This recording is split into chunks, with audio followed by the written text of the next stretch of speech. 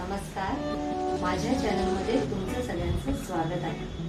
आज आपण पौष्टिक अशी शेंगदाणा गूळ त्याचा लाडू कसा बनवायचा ते बघणार हा लाडू लहान मुलांसाठी आणि मोठ्या माणसांसाठी सुद्धा खूप पौष्टिक असा आहे. या लाडूमुळे लहान मुलांची प्रतिकारशक्ती सुद्धा चांगली वाढते आणि रक्ताचं प्रमाण सुद्धा वाढतं. अशा प्रकारचा लाडू आपण कसा बनवायचा ते आज आपण या व्हिडिओमध्ये बघणार आहोत. चला मग व्हिडिओला सुरुवात करू. शेंगदाण्याचा लाडू करण्यासाठी मी इथे भाजलेले शेंगदाणे घेतलेले आहे पाऊण वाटी आणि किसलेला गूळ घेतलेला आहे पाऊण वाटी तर आता आपल्याला हे सगळं मिक्सरमधून बारीक करून घ्यायचं आहे. मिक्सरचा जार घेतलेला आहे त्यामध्ये आता हे शेंगदाणे आणि थोडंसं गूळ घालायचं परत.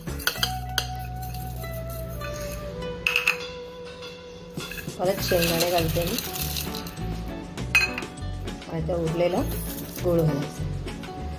आता मी हे मिक्सरमधून ग्राइंड करून घेते. अशा प्रकारे आपला शेंगदाणा आणि गूळ याचा सारण रेडी झालेला आहे. आता आपण ह्याचे लाडू वळून घेऊया.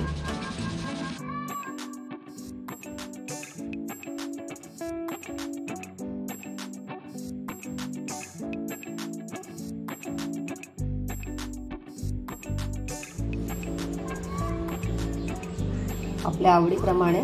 तुम्हाला जशी साईज हवी त्याप्रमाणे तुम्ही लाडू मिळू शकता.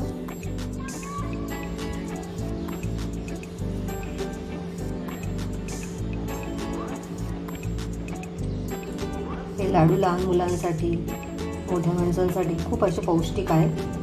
त्याचा एक लाडू जरी खाल्ला तरी सकाळी सकाळी नाश्त्याला आपल्यामध्ये भरपूर असे प्रोटीन्स आपल्याला या लाडवामुळे मिळतात.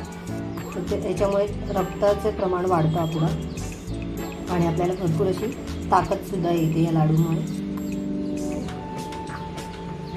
आणि उपवासासाठी सुद्धा हा ऑप्शन खूप छान आहे. तर मी सगळे लाडू आता वळून घेते.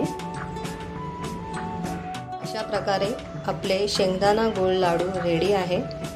तुम्हाला जर का माझी ही रेसिपी आवडली असेल तर नक्की लाईक करा शेअर करा आणि सबस्क्राईब करा. आणि माझा व्हिडिओ बघितल्याबद्दल धन्यवाद.